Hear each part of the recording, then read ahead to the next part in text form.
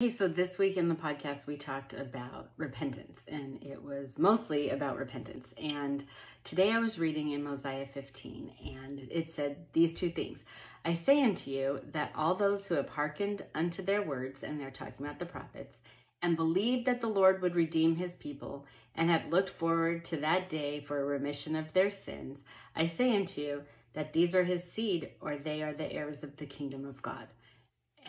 I just thought, you Guys, it's so easy. It's so easy. Like, listen to the prophets, believe that Christ can forgive you and help you and redeem you, and look forward to that day when that happens. The end. Right? And I think that I mentioned on the podcast that sometimes when I was younger, I just thought when it said preach repentance all day long, that I thought, like, well, that's mean. Why are you telling us we're bad all the time?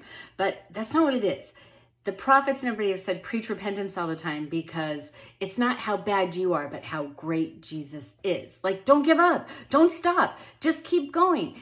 Ask for his help. Ask, say, like, oh, I'm sorry, I was a jerk yesterday. Can I be better tomorrow? And he's like, yeah, let me help you be better tomorrow. And that is the beauty of the gospel.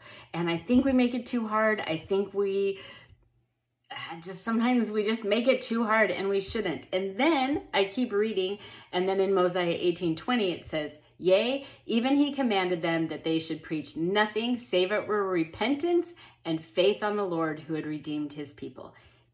Because it's all about Jesus. So don't be mad. Don't be sad. Just be so grateful we can repent and go, hey, I'm so glad I believe in Jesus.